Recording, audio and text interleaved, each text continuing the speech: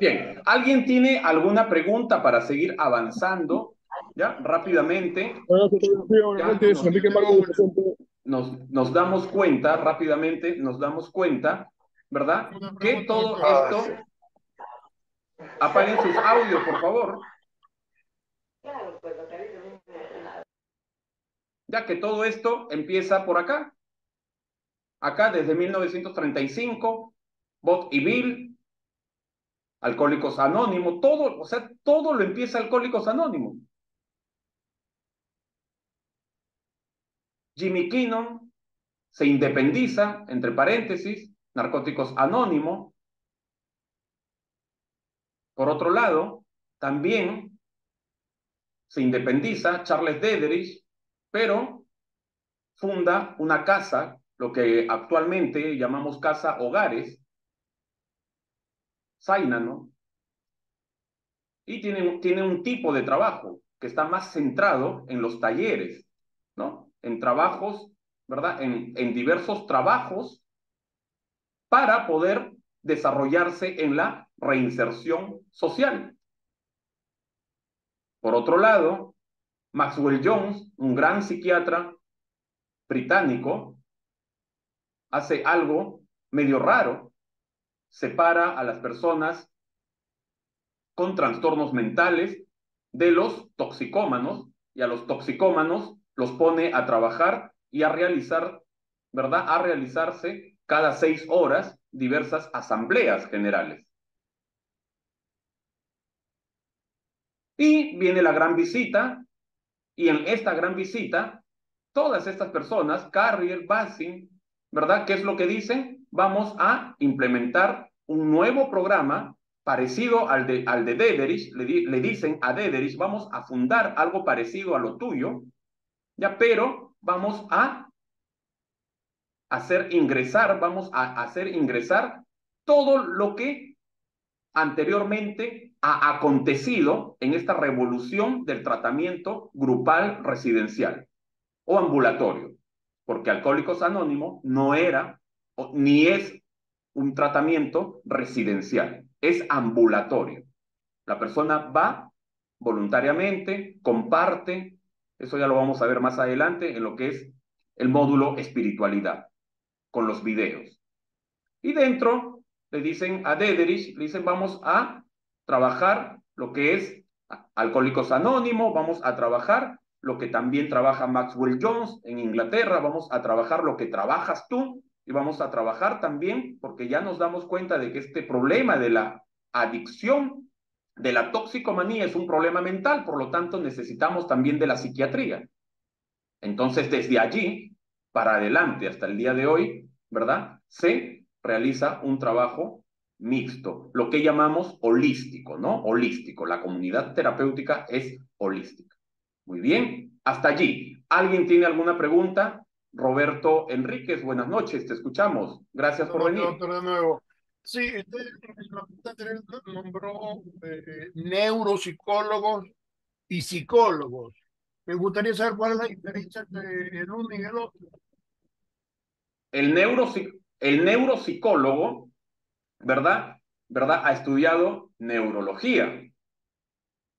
Ya sabe, sabe, está, es un experto, ¿verdad? En lo que es ¿no? El cerebro, los cambios de la bioquímica cerebral. Podría, el neuropsicólogo, el neuropsicólogo podría, entre comillas, entre comillas, podría, ¿verdad?, comprender un poco más los diversos trastornos mentales e inclusive los diversos trastornos de personalidad que puede tener el ser humano producto de desbalances de la bioquímica cerebral, producto de desestructuración del, del, cerebro, producto de repente de eh, atrofias cerebrales, porque tú sabes de que si una región del cerebro tiene una atrofia, un golpe, hablemos en castellano, hay, hay un golpe, un trauma en alguna región del cerebro, entonces la conducta podría presentarse totalmente diferente a una conducta normal. Entonces eso lo ven más nítidamente el neuropsicólogo. psicólogo se encarga únicamente, ¿verdad?, de lo que es la conducta, las emociones, los pensamientos, la modificación conductual, la reestructuración cognitiva, la reestructuración del pensamiento, ¿no? Pero eso no, no, no, no, no podemos decir de que el psicólogo es menos que el neuropsicólogo, que quede claro eso. Ahora, tengo entendido que los psicólogos no pueden dar medicina, o sea, recetar, recetar medicamentos. El neuropsicólogo sí puede. El, el, el, el neuropsicólogo podría, pero el psicólogo, el psicólogo clínico, no. ¿Ya? Y, que, y que quede claro, ni Bot ni Bill, ninguno de los dos, ¿ya? Eh, porque me hiciste la pregunta anteriormente, ellos no fueron neuropsicólogos. Eh, ahí en, la, ahí en, la, en la película que ustedes van a ver, ¿verdad? Eh, Bill, perdón, Bob era un, un, médico cirujano. Ya, pero tienen que ver la película, pues vean bien la película, es muy bonita muy, pero muy motivadora. Los va a motivar a cada uno de ustedes, los va a motivar a, a, ingresar a, a este mundo bello de lo que es la rehabilitación. Es hermoso. Yo siempre digo, digo algo, yo siempre digo algo. El que ve esta película y ama esta película está en la capacidad de poder ser un gran director de comunidad terapéutica. Un gran director. El que se identifica, el que, el que se identifica con Bill, ¿no? El que se identifica con Bill está preparado, ¿verdad? O tiene vocación para servir a la DIP. Ya eso que quede claro, ¿ya? Bueno, va. Roberto, te escuchamos, te escuchamos. La tarea en sí dice que hay que hacer un resumen, ver el video y hacer un resumen. Ese resumen eh, tenemos que enviarse eh, por escrito. Igual, igual, todas las tareas, chicos, todas las tareas sin excepción, escríbanlo si gusten a mano, si gustan lo hacen en Word, ¿ya? Si gustan lo ponen en PDF, como ustedes deseen, pero lo principal que me lo envíen a mi WhatsApp personal, ¿ya? Porque todo así lo escribas a mano, yo lo imprimo acá en la impresora, lo imprimo y eso le doy justamente acá a la señorita Brenda y la señorita Brenda ya se encarga de enviarlo a la universidad. Todos los lunes ella envía tareas todos los lunes a las 2.12, ¿no? 12 del mediodía, 12 del mediodía. O sea, por eso eh, hay chicos que a veces no pueden entregar hasta el día sábado, 5 de la tarde, no pueden entregar tareas. Entonces, ¿qué les digo? Hagan todo lo posible y entreguenlo ya al día siguiente, domingo, a más tardar 5 de la tarde. 5 de la tarde ya yo estoy imprimiendo y ya yo le doy a mi hija, ya a Brenda, perdón, y ya Brenda va y lo, ¿cómo se llama? Lo, lo entrega al día siguiente a las 8 de la mañana, lunes 8 de la mañana, ella entrega. ¿Ya? Entonces háganlo como ustedes gusten, por favor, pero lo principal que lo hagan, pues, ya háganlo. Muy bien, chicos. Entonces, ¿qué es lo que pasa? Por eso que tenemos otra tarea. Tenemos una tercera tarea. ¿Y cuál es esa tercera tarea? No te lo voy a decir ahorita. Primero te voy a explicar esto. ¿Verdad? ¿Qué es lo que pasa en el Perú? En el Perú, en el año 1988, ¿verdad? Fundan lo que es el Centro de Rehabilitación Comunidad Terapéutica Cristiana, así lo funda. Centro, no, Centro de Rehabilitación Comunidad Cristiana, Paz y Bien. ¿Quién lo funda? Lo funda eh, Ricardo Zuccarini, Ricardo Zuccarini con su esposa Juana de Zuccarini. Ellos fundan este Paz y Bien. ¿Qué es lo que hacen en Paz y Bien? Lo que hace en Paz y Bien es que esta pareja de esposos se van a Daito, a Estados Unidos, y ¿qué es lo que hacen? Hacen una pequeña capacitación y recopilan o compran, mejor dicho, compran el programa. Pero ¿cómo lo compran? Lo compran, compran las literaturas de ese programa. Es como que si Roberto Enríquez agarre y me diga, eh, doctor Río Frío, a mí me gustaría ir a Perú y me gustaría hacer una pasantía en su programa, en su institución, en programa Fénix. Entonces yo le digo, ya Roberto, vente para acá, las puertas están abiertas, ¿verdad? Vente. Entonces él empieza a ver todos los trabajos grupales, trabajos terapéuticos, trabajos clínicos, los abordajes con la familia, empieza a ver todo, todo, empieza a anotar, anota, anota, anota, anota y me dice, véndame su programa. Entonces yo le digo, vaya, te voy a vender los manuales, los manuales de lo que es acogida, los manuales de lo que es comunidad, los manuales de lo que es fase operadores, los manuales de lo que es pre-reinserción social y los manuales de lo que es los, chicos de reinserción social. Le vendo eso. ¿Qué es lo que hace Roberto Enrique? ¡Rum! Se va a su país y empieza a trabajar con los manuales, empieza a trabajar su programa. Lo mismo hizo Zuccarini, lo mismo hizo Ricardo Zuccarini y su esposa, la hermana Juana de Zuccarini. Se van primero a Daito, hacen eso, y luego se van a Italia, a Uomo, ¿verdad? Hacen eso y vienen al Perú. ¿Y qué es lo que hacen? Empiezan a recolectar, empiezan a recolectar adictos, adictos que tenían un mes, dos meses de limpieza, les hacen aprender estos manuales para que ellos puedan abordarlo, puedan enseñar al resto, ya al resto de adictos, ya y hace su programa de esa manera, empíricamente, empíricamente. Hubo una gran consecuencia. ¿Por qué? Porque en el programa Daito, si tú vas a Estados Unidos, vas a Estados Unidos y te capacitas en Daito, ¿qué es lo que va a ocurrir? Ahí lo primero que te van a decir en Daito, lo primerito que te van a decir en Daito es una comunidad terapéutica, su característica y el espíritu de la comunidad terapéutica es el equipo terapéutico multidisciplinario. Eso es lo primero que te dicen allá en Daito. Te lo repito por segunda vez. Si tú vas a Estados Unidos, a Daito, y te vas a capacitar a Daito, lo primero que te dicen, si tú deseas fundar tu comunidad terapéutica, lo único que está aprobado por la Organización Mundial de la Salud, la comunidad terapéutica, ¿cómo la tienes que fundar? Con un espíritu. Y ese espíritu de la comunidad terapéutica, ¿cuál es? Es el equipo terapéutico multidisciplinario psicólogos, neuropsicólogos, psiquiatras, técnicos de enfermería, enfermeras, odontólogos, medicina general, asistenta social y noveno y último, ¿quién? Consejeros, ustedes, ¿no? Ustedes, los que están estudiando ahorita acá, ¿no? Consejeros terapéuticos certificados. Esas nueve personalidades tiene que estar en el equipo terapéutico multidisciplinario. Eso es lo primero que te van a decir ahí en Taito. Y se lo dijeron a Juana de Zuccarini y a Ricardo Zuccarini. Pero ellos, por no invertir, por no pagar a este personal, ¿qué es lo que hicieron? Todo lo que aprendieron, todos los manuales que compraron en Estados Unidos, Taito, y en Italia, Uomo, todos esos manuales se los dieron a drogadictos que solamente tenían un mes, dos meses de limpieza, los hicieron estudiar, estudiaron los manuales y ellos les daban la terapia a los adictos que tenían menos de dos meses, a los que recién llegaban. Y así, ¿qué es lo que ocurrió? Lo que ocurrió fue el gran desastre a nivel universal ¿verdad? Hasta el día de hoy nunca ha habido un desastre tan grande, tan grande en la humanidad como lo que pasó en paz y bien. Hasta el día de hoy, ¿verdad? Hasta el día de hoy, hasta el día de hoy existen personas desaparecidas. En total, aproximadamente 700 personas murieron. Estas personas mataron, mataron a residentes, a internos, violaron. O sea, ocurrió de todo, de todo. ¿Ok? Esa, así, de esa manera, empiezan las la historia de las comunidades terapéuticas en el Perú.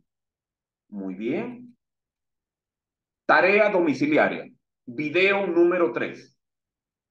Van a, van a ver, esta, esta es la última tarea domiciliaria para esta semana, chicos, ¿ya?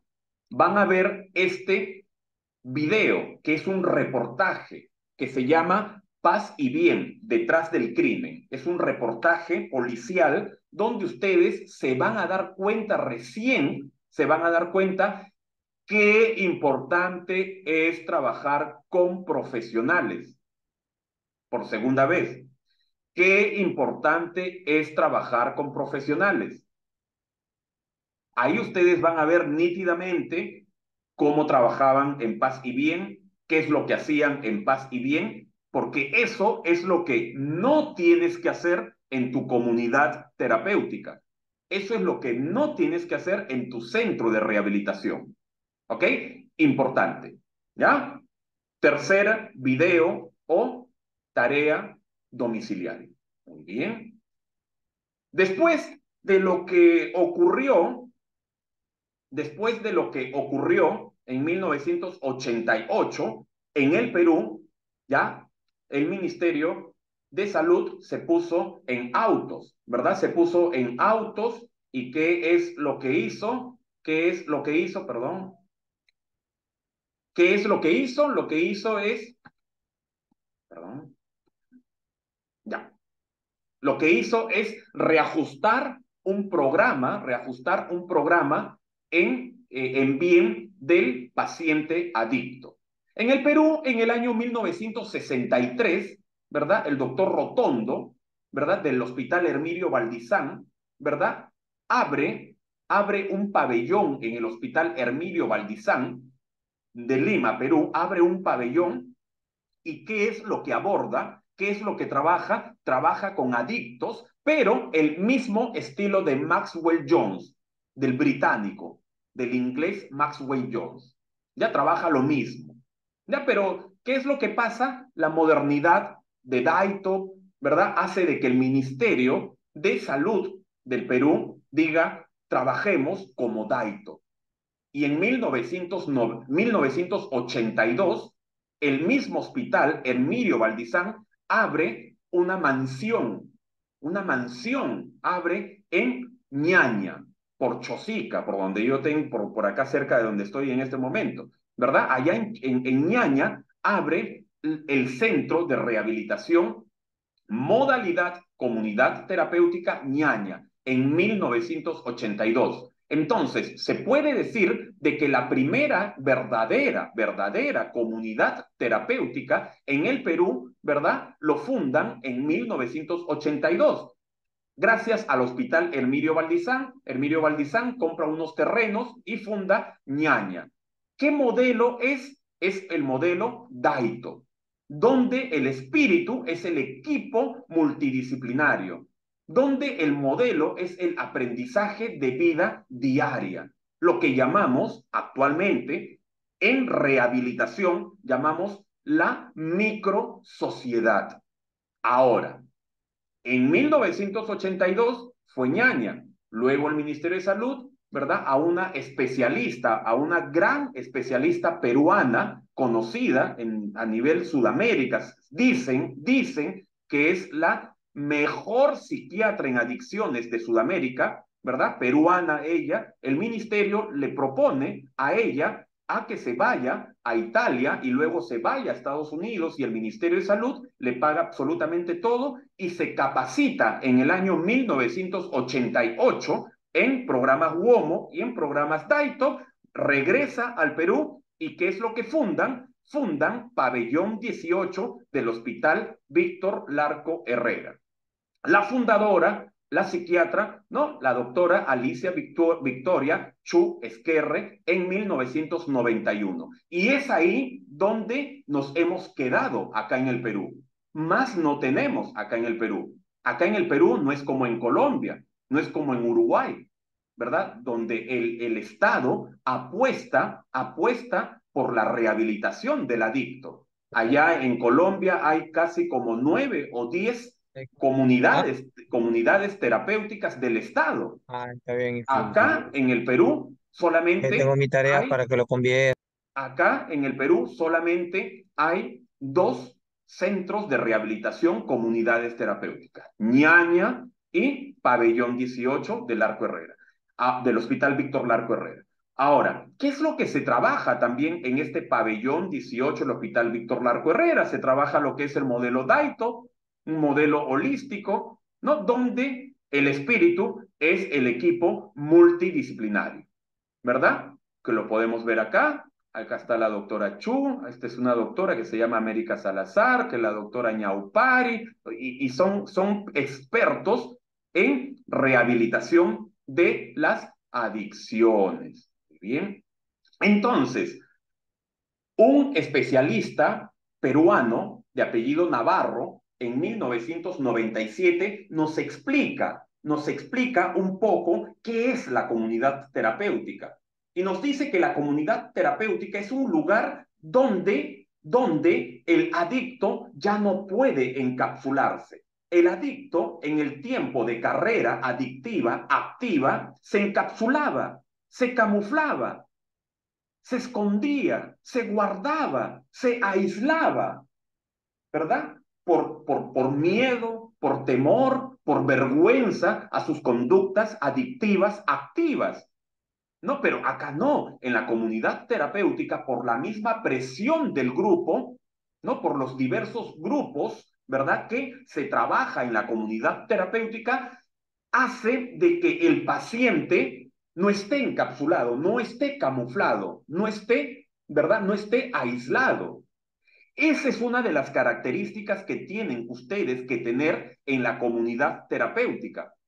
Por eso, qué importante es saber manejar los diversos grupos para que el paciente, grupos terapéuticos, para que el paciente no se encapsule.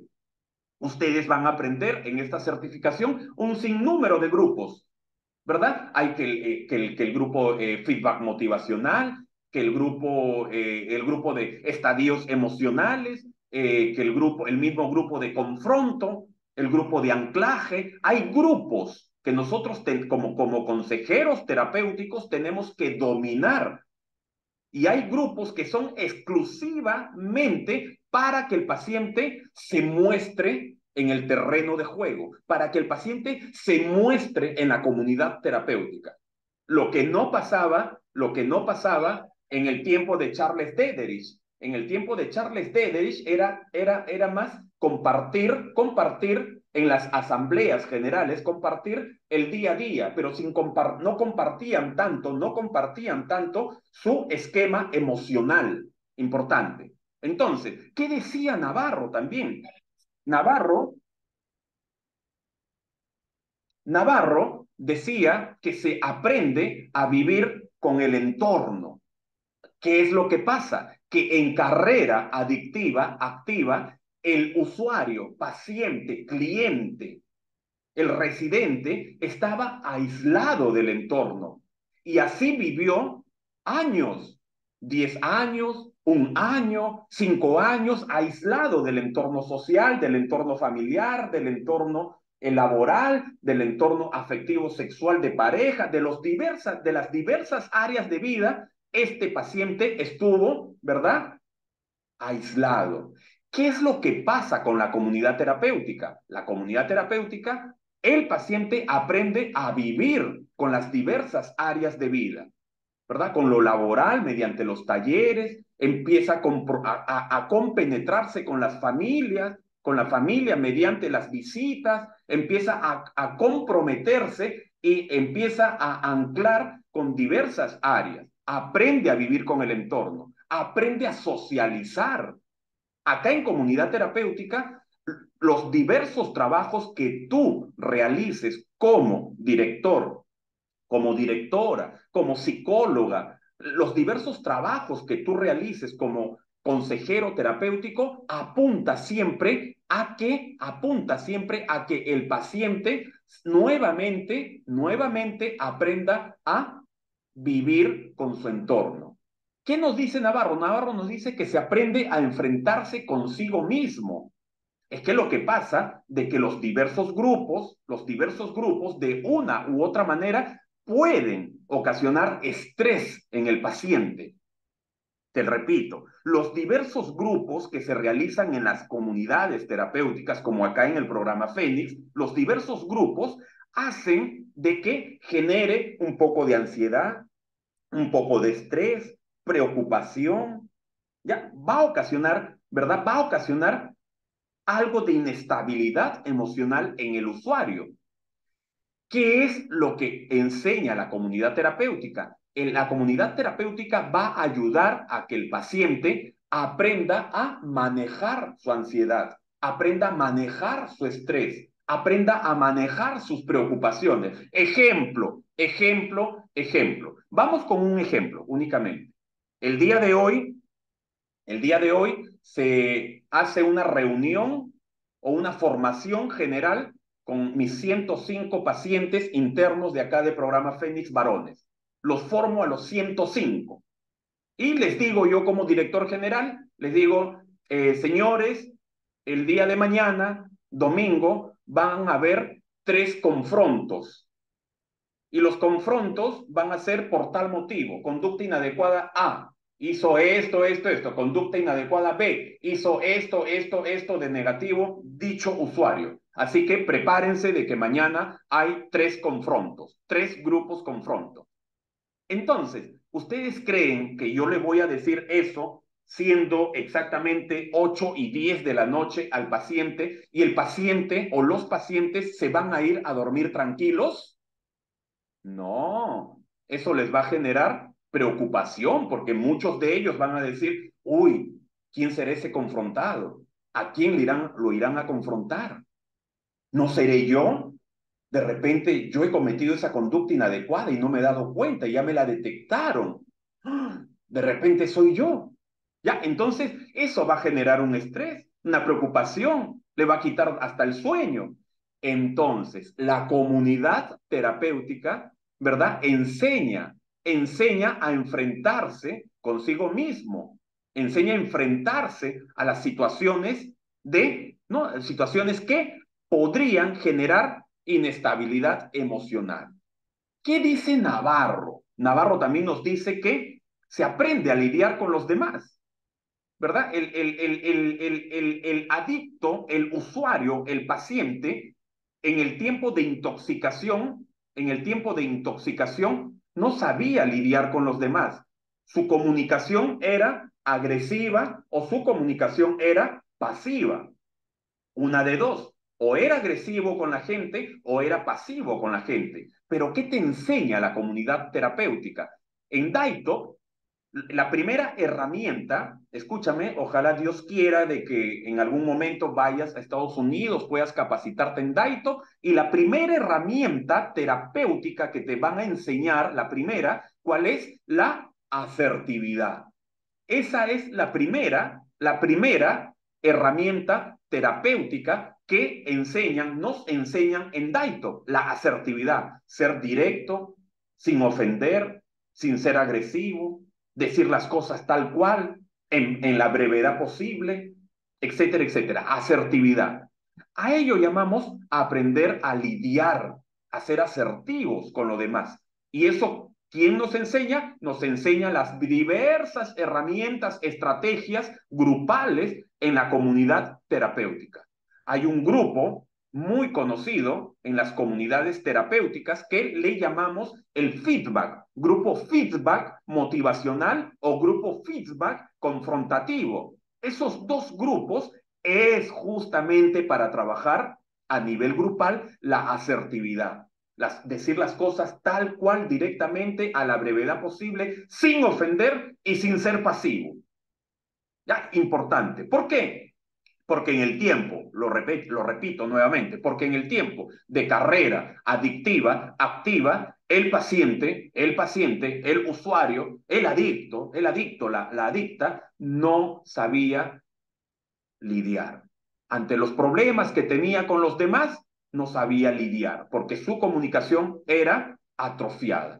¿Qué dice también Navarro? Navarro dice, y se da cuenta Navarro, ¿verdad? Se da cuenta de que el grupo es un colchón, es un colchón afectivo, es un colchón afectivo efectivo. Esto pasa únicamente en esta enfermedad de la adicción. Por eso que los chicos, yo, yo siempre le digo a los chicos lo siguiente, y esto es un, esto es un, un lema, un lema de las confraternidades anónimas, como narcóticos anónimo, alcohólicos anónimo. Siempre yo les digo, ¿verdad? Y, en mi oficina, en la Casa de Mujeres, está grandazo, está. ¿Qué es lo que dice? Si no vienes a tus grupos, no preguntes por qué recaes. Si no vienes a tus grupos, si no asistes a tu grupo, no preguntes por qué recaes. Entonces, ¿por qué? Porque ya nosotros los especialistas y la experiencia nos dice de que la herramienta, la, máxima herramienta en la modalidad comunidad terapéutica es el grupo. Y eso lo vamos a aprender más adelante.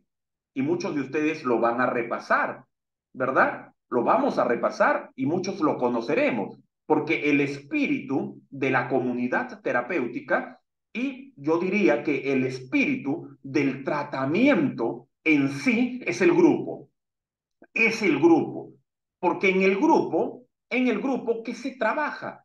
En el grupo se trabajan los rituales para modificar la conducta, en el grupo se trabaja los principios espirituales, en el grupo se trabaja las normas.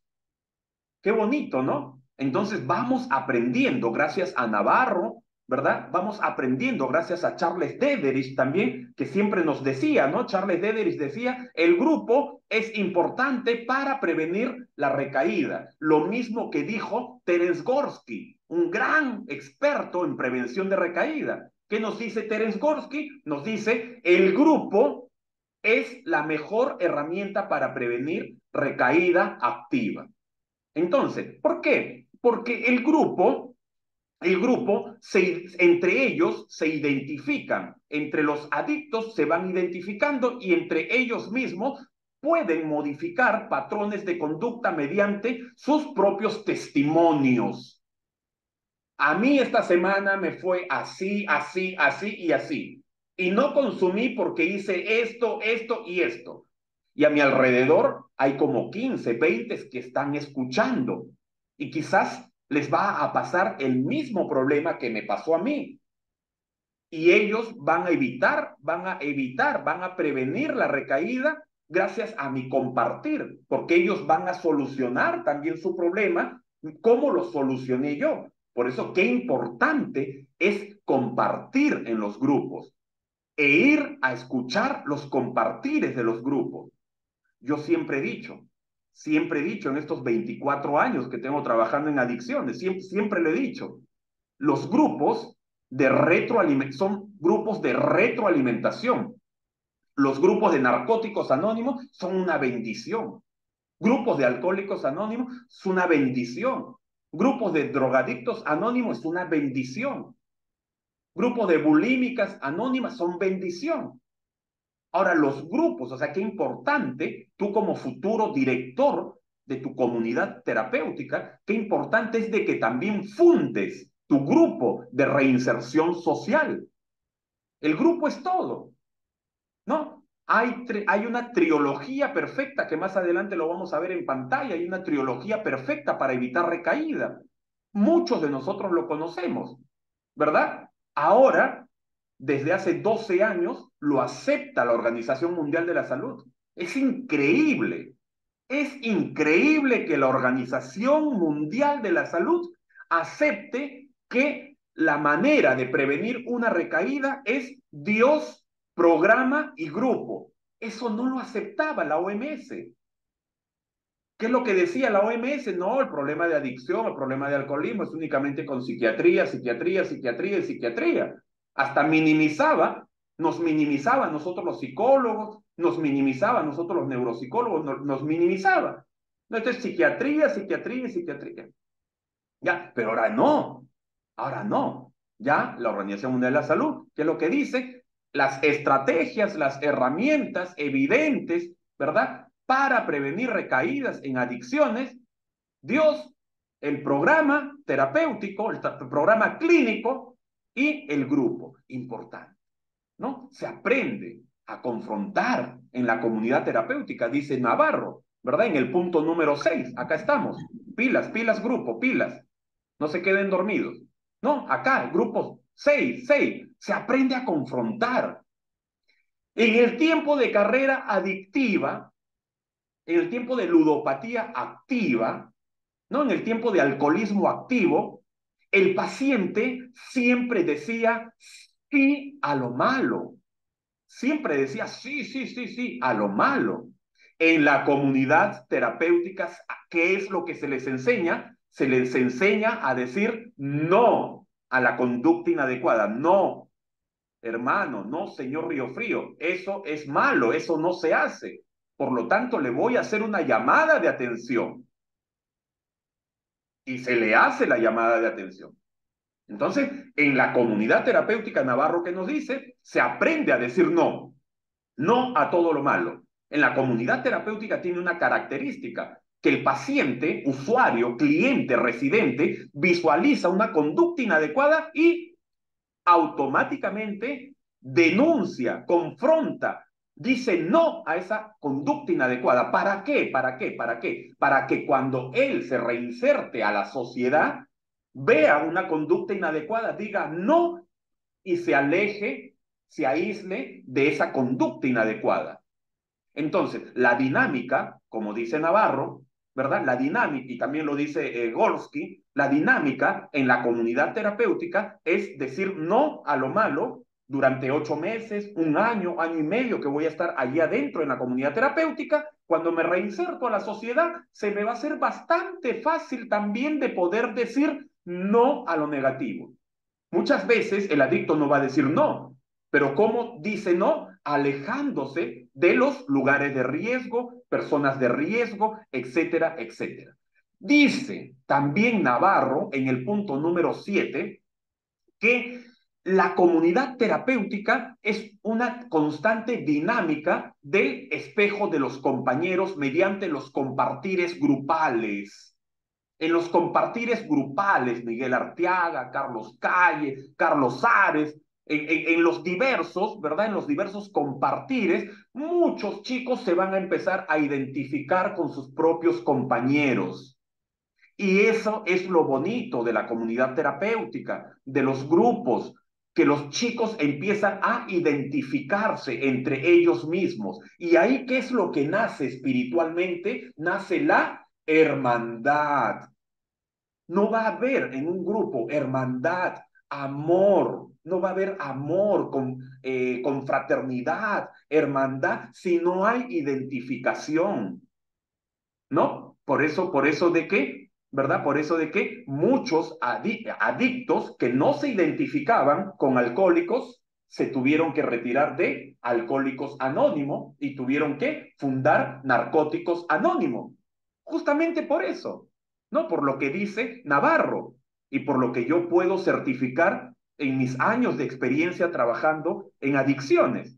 ¿Ok? Importante. El espejo de los compañeros. Cuando yo me identifico con Billy, cuando me identifico con Jonathan, me identifico con Miguel Arteaga, con Carlos Ares, me identifico con ellos, entonces, ¿qué va a ocurrir? Algo mágico. Van a ser el amor, la confraternidad. Qué lindo. Por eso que es bonito la vida espiritual, es linda la vida espiritual en comunidad terapéutica y en la reinserción social. Muy bien, vamos con nuestro tercer enlace, por favor, chicos. ¿Ok? Vamos con nuestro tercer enlace. Esto está bonito. A mí me gusta. Soy un apasionado de la comunidad terapéutica porque lo he vivido nítidamente en estos años, como hay chicos, hay chicas que han salvado sus vidas gracias a la comunidad terapéutica. Hay espiritualidad, Claro que hay espiritualidad y lo vamos a entender más adelante, más adelante cuando entremos al módulo de espiritualidad. Allí vamos a entender en realidad qué es la vida espiritual en la modificación de conducta de adicciones. ¿Ok? Vamos con el tercer enlace. 30 segundos, les paso el enlace. 30 segundos.